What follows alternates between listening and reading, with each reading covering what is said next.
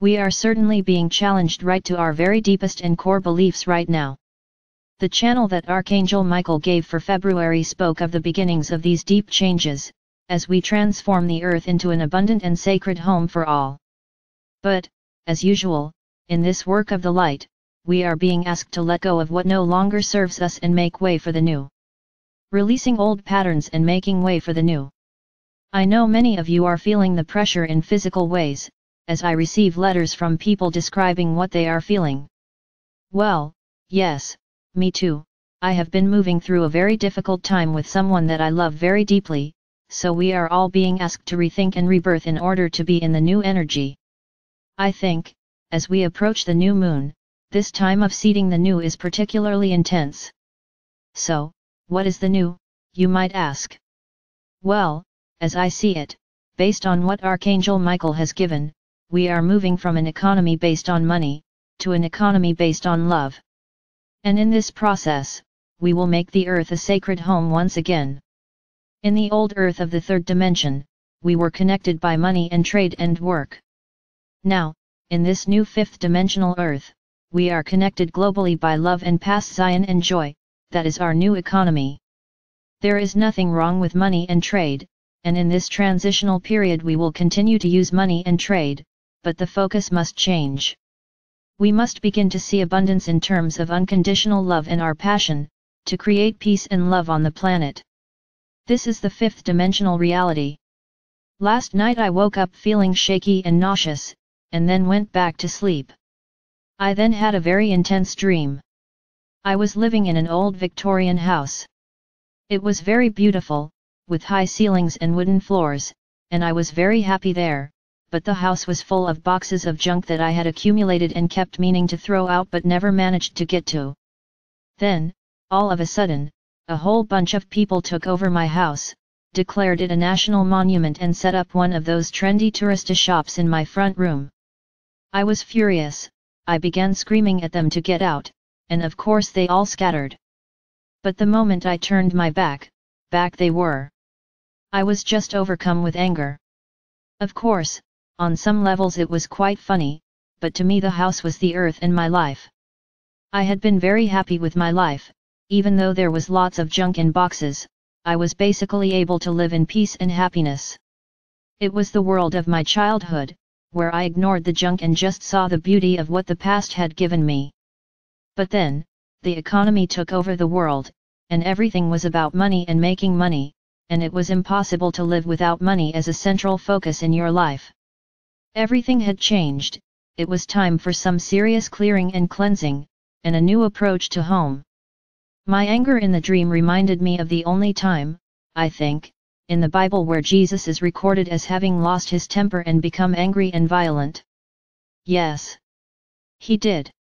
Do you remember the incident where the money changers came into the temple and he overturned their tables and threw them out for defiling the house of my father? Hmm.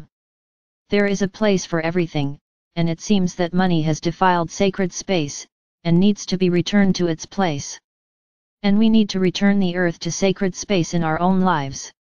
How can we do this? Well, it requires a change of focus. We have to move into fifth dimensional focus and see love as our abundance and the earth as a sacred space.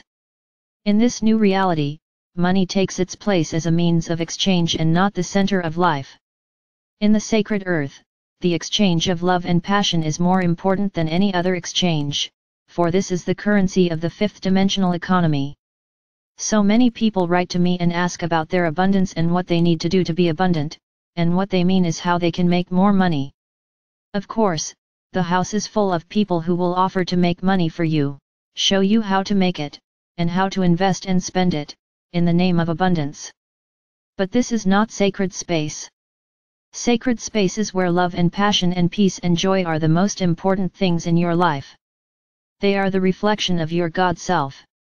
So, when you look to see your abundance, then don't look at money. Look at the love and joy in your life. If you are low on that, you will probably be low on everything else, including money.